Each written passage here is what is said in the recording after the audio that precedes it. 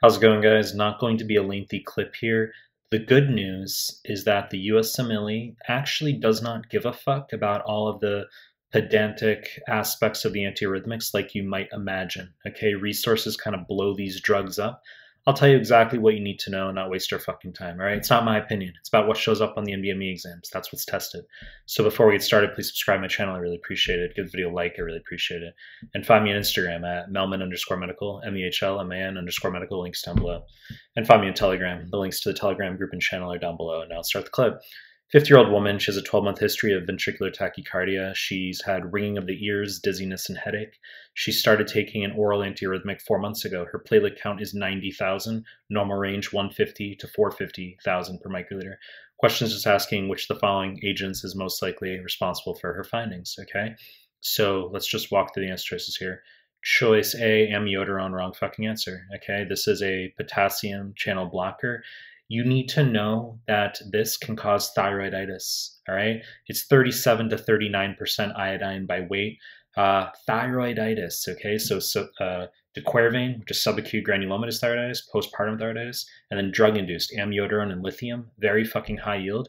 There's, that's a long discussion, but you should know that it can be hypo or hyperthyroidism, and that even if the patient is hyperthyroid, iodine uptake into the thyroid gland will be low in the setting of amiodarone or lithium, any drug induced thyroiditis. Amiodarone can also cause hepatotoxicity and it can cause uh, blue black skin discoloration uh, with exposure to the sun. And it can also cause arrhythmia, okay, torsades, torsade de pointes, okay, absolute nonsense in terms of how that's pronounced. I'm not fucking French, okay, but uh, torsade de pointes, okay, torsades. That's how.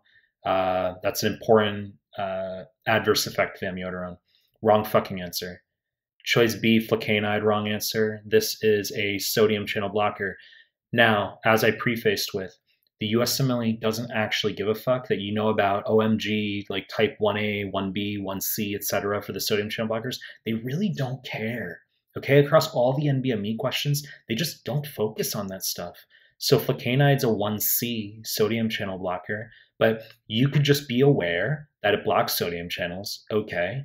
And I just want you to know that this can also be used for atrial fibrillation, all right? It's not high yield for step one, but for step two and three, you can be aware that for eight for AFib, we're going to do rate control before rhythm control. And if rate control fails with beta blocker or verapamil, then we can move to uh, rhythm control. And flecainide is often uh, a first choice, okay, if the patient doesn't have structural heart disease, coronary artery disease, etc.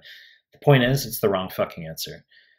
Choice C, ibutilide, wrong answer. This is also a potassium channel blocker similar to amiodarone. Uh, I've seen this on offline NBME, NBME material for step one. You need to know uh, that this can cause torsades, okay, similar to amiodarone. All right, so uh, flecainide can do it as well. Uh, interestingly, it's proarrhythmic. I mean, pretty much all of these drugs can cause torsades. It's just a matter of what does the USMLE want? They want you to know amiodarone and ibutilide notably can cause torsades. Okay, it's a sinusoidal arrhythmia. Uh, arrhythmia. I should have mentioned that before. Okay, sinusoidal wave pattern, and it's uh, very dangerous because that can uh, descend into outright ventricular fibrillation, which is fatal. Wrong fucking answer. Choice D, procainamide, wrong answer. This is a sodium channel blocker. You need to know that this can cause drug-induced lupus. Okay, so we talk about uh, drugs with uh, anti causing antihistone antibodies. Okay, so hydralazine, isoniazid, procainamide, penicillamine, uh, minocycline as examples. You don't have to memorize those per se. Don't worry. You should just be uh, aware that if a patient receives a drug such as an antiarrhythmic, procainamide in particular, and then let's say it gets arthritis, mediastinitis, pleuritis, okay, that's drug-induced lupus, antihistone antibodies. Wrong fucking answer. Choice E, quinidine is the correct answer. Okay, this is also a sodium channel blocker, antiarrhythmic.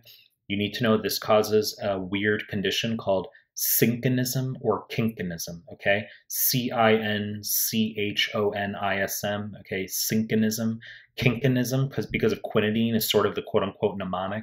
Uh, but cinchonism equals headache plus tinnitus. Okay, very fucking weird. I agree with you on that one, but that's what USMLE wants you to know. Okay, so this patient has headache, has tinnitus, ear ringing, and that's just cinchonism. That's quinidine. Okay, it's not that dramatic or complicated. And quinidine can also cause thrombocytopenia.